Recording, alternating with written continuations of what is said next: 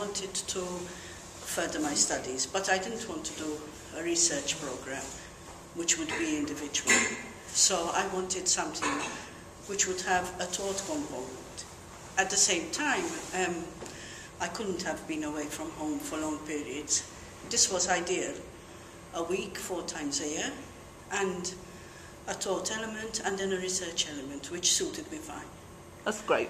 And uh, how have you found it in terms of the work-life balance? It must have been very tough because you were travelling as well. Yes, I was travelling, but I'm, I'm quite organised, so um, keeping limits on when I needed to work.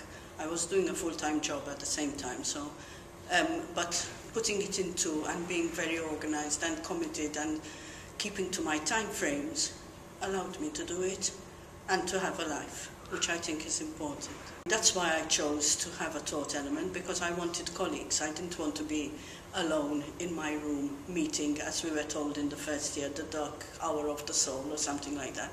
Um, the fact that I was doing it with other people and the fact that as we went along we built friendships and we were able to discuss certain things.